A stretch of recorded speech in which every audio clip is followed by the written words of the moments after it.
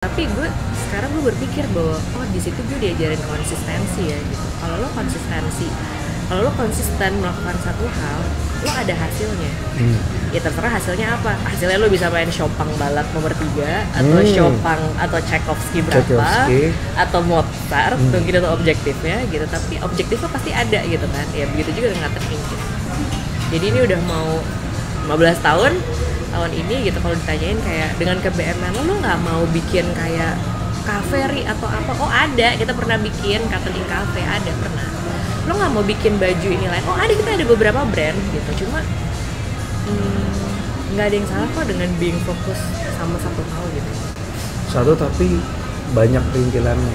Iya, ini kan maksudnya kayak ini baru satu toko loh, gitu. Hmm. Ini tuh baru satu toko gitu. Belum lagi yang di head office, belum yang di warehouse Hmm. gitu. Jadi emang ya udah sangat menyita waktu dan energi aja sih. Gitu. Jadi ya lo kan harus pilih-pilih energi lo. Kan kita kan terbatas ya. Maksudnya kita juga bukan super power yang kayak kita nggak perlu tidur 24 jam Hmm. kan gitu. Jadi ya lo harus pilah-pilih aja sih. Selain quotes favorit lo adalah Steve Jobs punya, film favorit lo apa? Eh, you've got mail. Tom Hanks. Tom Hanks. Karena Eh, nggak apa-apa gue suka segala hal yang kayak oh gitu. oh, Itu pelarian gue tuh nonton nonton film-film romcom gitu kayak oh. pelarian dari 24 jam mikirin kata. Iya kan kayak gini-gini very intense. Oh iya. Menurut gue very intense kayak apalagi ketika lo punya tim di bawah lo, lo harus kayak make sure mereka melakukan exactly yang lo mau gitu. Hmm. Kan very intense gitu kayak lo nanyain lo udah ngerjain ini belum? Gitu. Ini gimana? Itu gimana? Eh, yang gue minta udah belum? Gitu. Jadi kalau misalkan ada kayak di social media kayak bos yang gimana gitu ya maybe salah satu itu adalah gue gitu. Ya but I'm sorry I need to melakukan ini supaya ini run well gitu. Buat siapa yang buat gaji lo juga? Hmm. Bener sih. ya iya, Iya, kan? benar. iya dong. Kalau lo nanti lo kerja salah yang disalahin siapa? Ya bukan lo juga ya gue lah yang salah Lu dulu dulu waktu Cotton Ink uh, coba per- berdua. Cuma berdua? Pernah macet orang nggak? masalahnya cuma berdua sih yang mau dipecat siapa bingung juga. maksudnya pas udah punya karyawan tapi masih dipegang berdua Oh, kayak lu mesti mecat up dengan orang setenang lu nih sesantai lu. Lu mencetnya gimana? Jadi gini bro. Oh enggak gue cukup to the point sih. Gue Oke. kayak pak saya nggak bisa kerja lagi sama bapak. Oke. Lu to the point. Iya. oh lu tuh santai karena lu tuh cut the drama ya? Kayaknya iya deh. Oh, kayaknya iya deh. Gue nggak I have no time for drama gitu. Hmm. karena ya I choose not to aja. Pemikiran bahwa gue nggak mau nggak gue nggak mau memilih drama itu muncul pertama kali kan pasti lu nggak tahu. Biasanya terjadi drama hebat terus kayak ah gue nggak mau lagi kayak gini lah.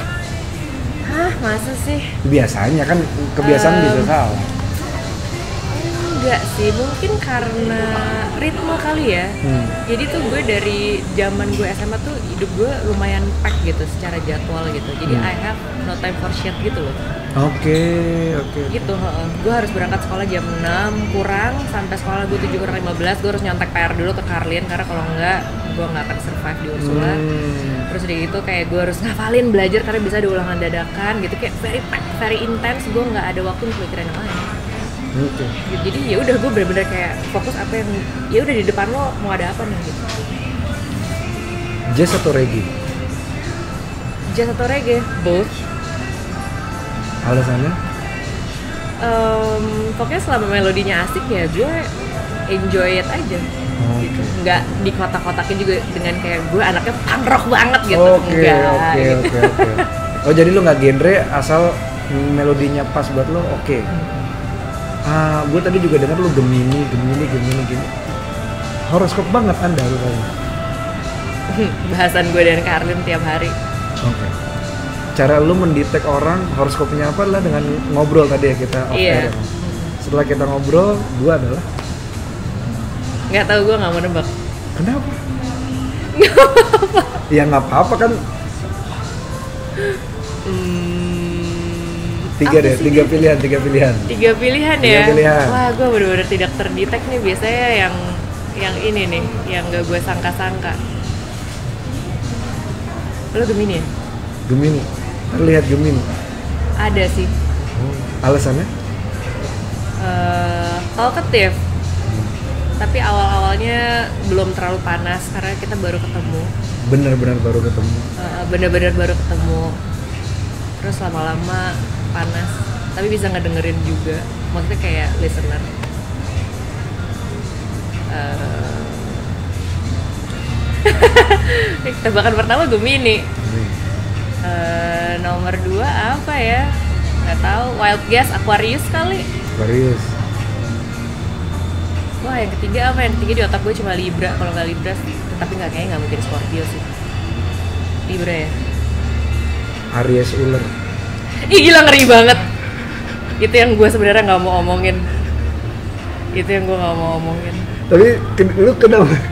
Kenapa mau diomong? Ada apa dengan Aries? Ular. Karena tadi lu nyebutin Shio juga gitu. Di off air nih kami nyebut Shio Shio Suamiku juga. adalah Aries kambing. Iya iya iya Tapi lo nggak sepoker face dia jadi gue tidak mendetek Aries. Nggak sepoker face oh oke. Aries itu poker face? Ya? Ada ada, ada poker face ada. Hmm. Kayak mau terlihat rapi. Oh. Tense oke. Aries, beberapa Aries yang gue liat tuh kayak tense jadi terus ya, seberapa penting horoskop untuk karyawan? Oh penting banget. Lately bahkan gue ada ahli feng shui ya. Jadi Nah. kalau misalkan ada CV-CV masuk, gue langsung telepon dia dulu. C. Kalau Libra kuda gimana? Mending Libra kuda apa Virgo anjing? Hmm. bukan Virgo anjing tapi Virgo show anjing ya Iya. iya iya Oh mendingan Libra kuda. Ya. Kamu harus lebih banyak di kantor kamu tuh harus yang banyaknya show ayam gitu. Baik, iya deh. jadi penting banget penting. kalau ngelihat sekarang itu orang-orang bilang keluar dari pekerjaanmu jadilah bos itu kan teorinya orang-orang lu sebagai orang yang mimpin rasanya kayak apa sih? Capek lah. ngurusin diri sendiri aja kadang-kadang masih eh gitu. Terus sekarang ngurusin 100 orang. capek Capek lah. elaborasi capek capek pikiran, capek badan, itu udah pasti sih. Ya capek. menurut lu semua orang bisa menanggung capek lu Ri?